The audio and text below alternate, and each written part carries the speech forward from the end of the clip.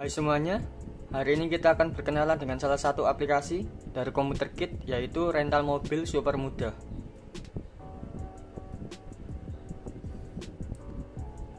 Di sini tampilan awal dari, dari aplikasi tersebut terdapat empat menu master, transaksi, laporan, dan utilitas. Kita ke master. Di sini terdapat 5 menu identitas berisi form identitas toko, kemudian merek, merek mobil, kemudian kendaraan, data pelanggan, data pegawai, dan setelah mengisi semuanya, kita menuju ke transaksi. Di sini ada dua menu rental kendaraan dan pengembalian kendaraan. Kita ke rental kendaraan.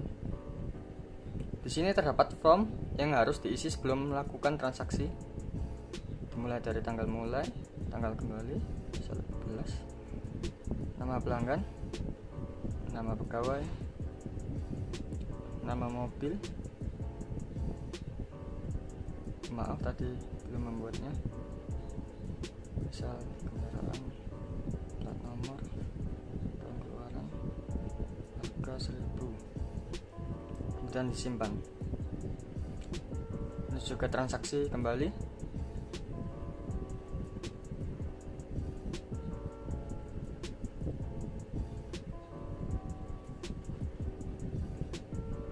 nama mobil yang barusan saya isi harga sewa KM mulai setelah mengisi form tersebut, kita simpan, kemudian keluar card dari data form tersebut.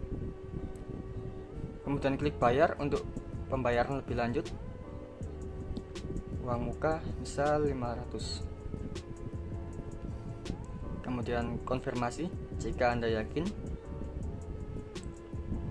print atau tidak. Kita di sini akan mengeprint ya cetak struk. Pertama-pertama sambung sambungkan nama printer dulu. Sini klik di sini. Di sini saya sudah tersambung dengan printer. Jika ingin melihat hasil struk klik preview.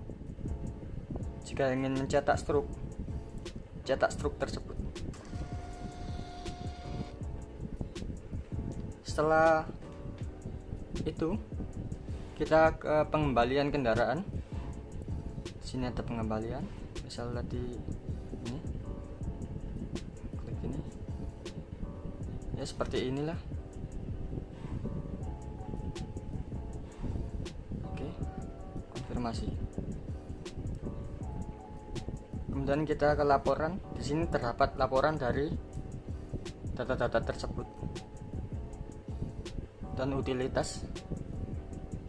Di sini ada backup data, menghapus semua data aplikasi, reset data, dan cara penggunaan. Ya, cukup sekian dari saya, dan selamat mencoba.